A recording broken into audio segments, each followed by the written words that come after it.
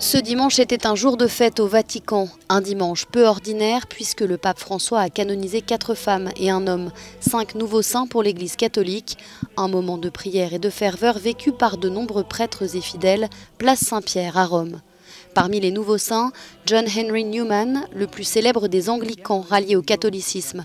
C'est le premier britannique à être canonisé depuis les années 1970. Devenu prêtre catholique en 1847, John Henry Newman a grimpé tous les échelons de la hiérarchie de l'Église pour devenir cardinal en 1879.